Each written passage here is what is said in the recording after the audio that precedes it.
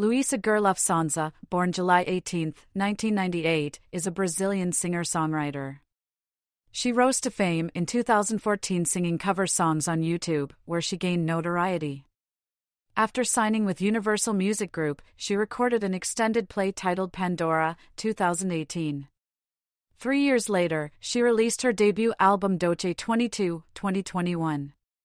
The year also saw her being featured on a remix of Katy Perry's Cry About It Later, along with Bruno Martini. In 2023, she released Escandalo Intimo, which features a collaboration with Demi Lovato on the song Penhasco 2.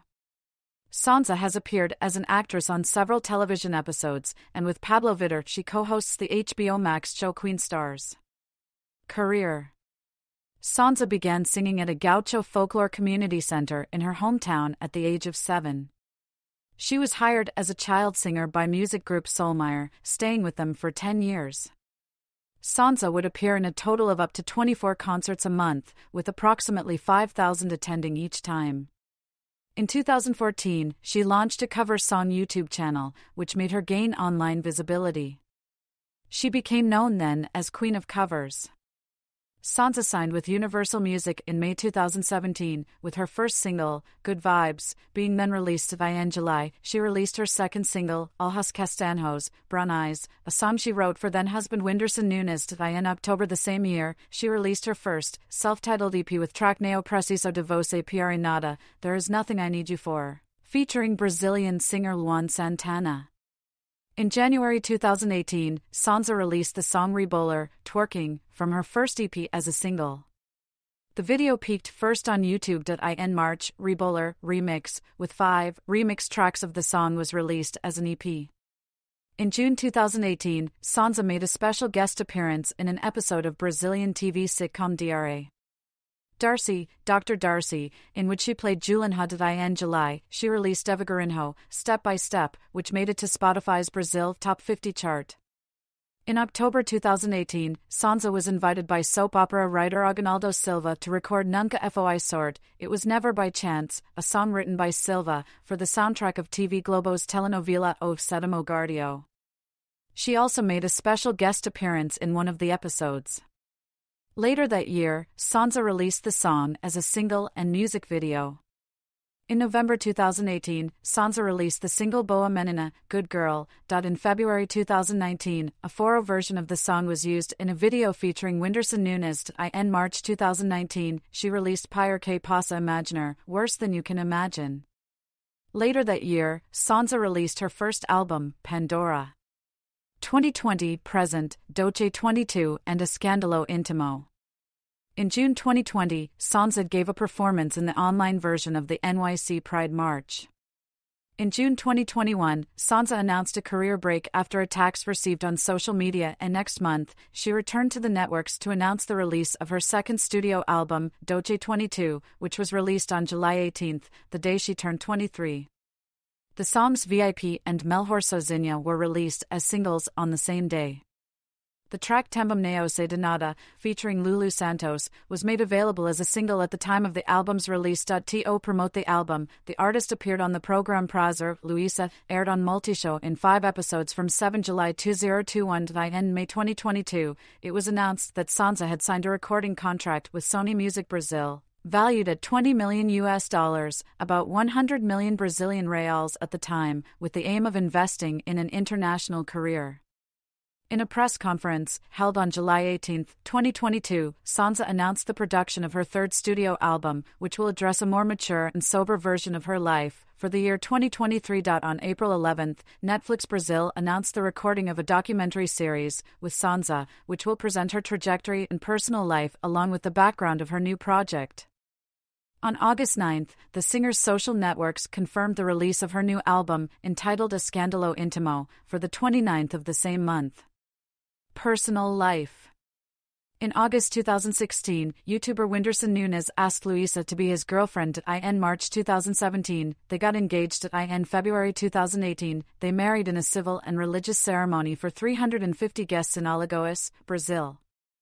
On April 29, 2020, through a post on Instagram, Whindersson announced his divorce, claiming that Luisa and he had grown apart but remain good friends. In an interview, Sonza said she is too conscious of her own body to have biological children and intends to adopt instead. Sonza is of Italian and German descent, she is openly bisexual. Views on women's empowerment and toxic masculinity. Matea Sonza received criticism alleging she had married for money and responded by saying she made as much money as her former husband Whindersson Nunes did. She once thought being a victim of machismo was a woman's fault, but realized no matter what she did, she would be a victim anyway. I had two options either understand a sick social structure or become sick myself. They're using the structure to talk about women, to place them in an undeserving position of being less smart and incomplete without a man just like they did to my mum, my grandma, my aunt, she said. She holds no hard feelings towards trolls harassing her online. Before deconstructing other people, I have to deconstruct myself. As to marriage, Sonza states, it is not women's duty to do anything or be anything. It is not our duty to be a mother or get married. Unless you want to, I'm against women letting go of their dreams to fulfill someone else's dreams. In September 2020, after protests by Anitta and Sonza, Oxford Languages decided to reassess the definitions of Portuguese words patroa, honor or boss, in the feminine gender, professora, teacher, in the feminine gender, and mulher solteira, single woman, appearing in Google's definitional search, which until then were related to misogynistic definitions such as housewife, patroa, and prostitute, professora and mulher solteira both Google and Oxford Languages issued press releases stating that they would either revise the definitions or remove the item if it no longer reflected the modern usage of Portuguese language by Brazilian speakers. Racism Case in 2018, Luisa was accused of racism and sued for moral damages by black lawyer Isabel Macedo de Jesus. According to the case file, Macedo was celebrating her birthday on September 22, 2018, at an inn in Fernando de Noronha, on the same day that Luisa Sonza gave a presentation at a gastronomy festival. While heading to the bathroom, Macedo passed by Sonza, at which point the singer would have slapped Isabel on the arm and ordered her to bring her a glass of water, thinking that the lawyer was a waitress. Not understanding the reason for the approach, Isabel asked the singer to repeat it, at which point Luisa, in a harsh tone, again ordered Isabel to fetch a glass of water for her, because she was thirsty. At this point, the case files stated that Macedo, terrified, informed Sonza that she was a customer and not an employee, as if it were not credible that a black woman could be in that restaurant as a customer. The case file also states that employees at the establishment would all be in uniform.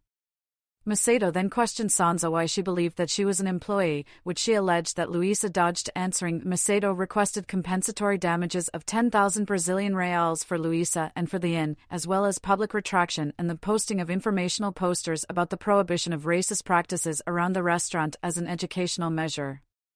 In September 2020, Luisa denied the allegations on Twitter, telling people not to believe the story.